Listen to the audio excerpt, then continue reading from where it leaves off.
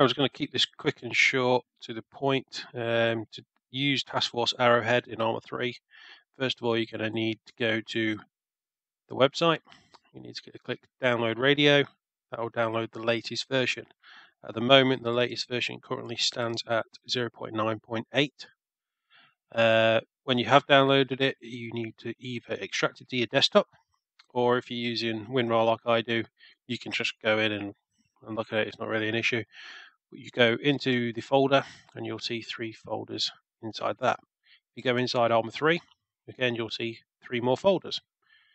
CBA, Task Force uh, Radio, and the user configs.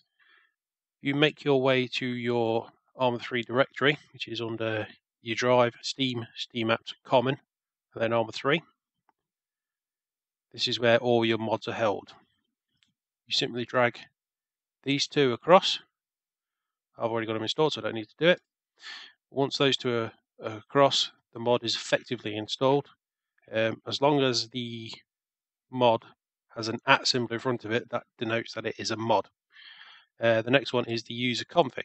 Now you can either go inside that folder and you'll see Task Force Radio.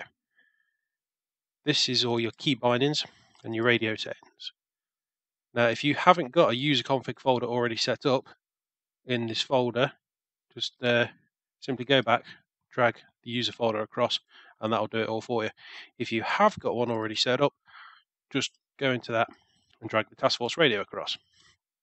And that's basically it for Arma 3 setup. Next, you're going to need to set up your TeamSpeak.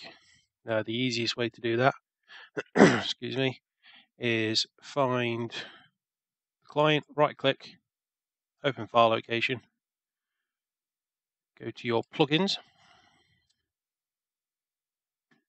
Uh, where's that gone? There it is. Go into the plugins folder, go into the TeamSpeak 3 client. You'll see a folder called plugins, go into that. Simply click and drag all them across so they're inside the TeamSpeak 3 plugins folder. Once that's done, one final step, go into TeamSpeak, click settings, plugins. Now it might not show straight away. If it doesn't, just click reload all a couple of times, but then you'll see Task Force Arma 3 Radio. Make sure that is ticked